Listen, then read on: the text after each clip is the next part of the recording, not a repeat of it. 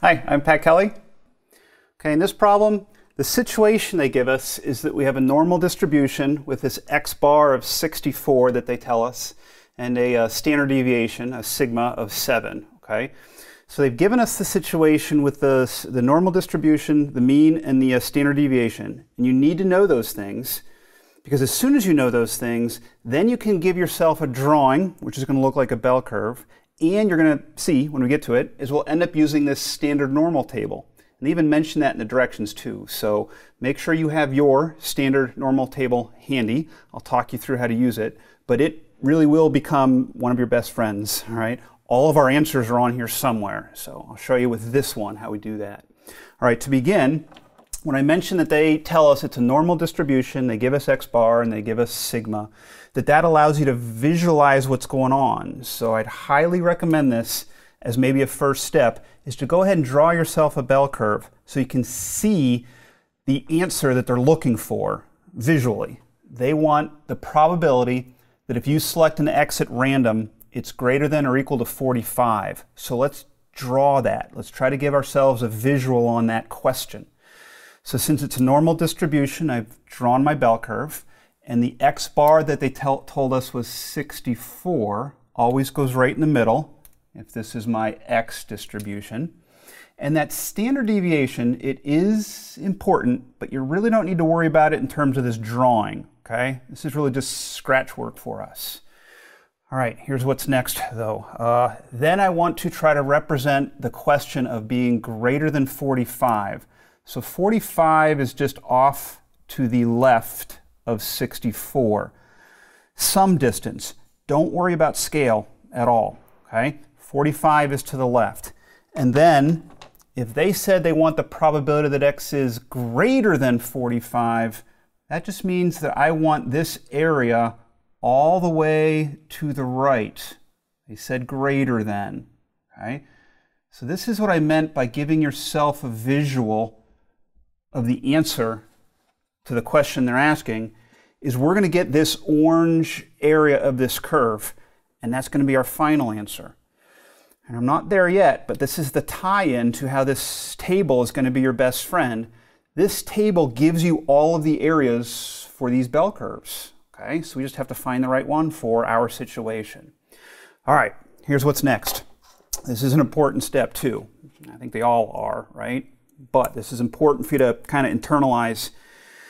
The catch with this table is it only deals with the z distribution. But what I have right now is an x variable. Okay, so the important step you need to take is to convert your x into a z and you have a formula for that.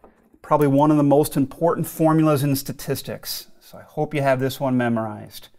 Z equals a quick little fraction of x minus x bar in the numerator and sigma in the denominator. Okay? Get that ingrained in your brain.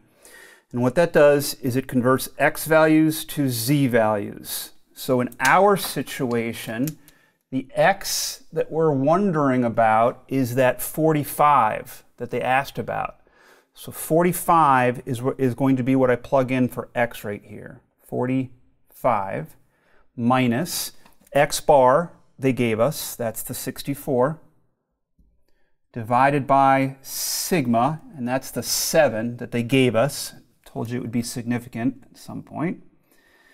And then I'm going to go ahead and write approximately equal to, because what you're going to do is grab your calculator even for this if you want, but 45 minus 64 and then divide by 7. I'll do that myself on the calculator. 45 minus 64 and divide by 7. With rounding is a negative 2.7. And what you're going to do is round just to one decimal place. Okay, so I have this 7 in the 10th spot. Okay, that's important in a minute. All right, so here's what's next. This is a z value. You can look at the far end of my equals here, the beginning of the formula. That is a z value. The reason I point that out is because that standard normal table, I told you, only handles z values. what we've done is converted the 45 that they were interested in as an x into a z, and now we're able to go to that table. So you're going to go to this table and look up a z value of negative 2.7. I have drawn here already a, just a skeleton of the table. You'll have the full-blown version, but here's how you use it, okay? Let me even maybe try to color code a little bit.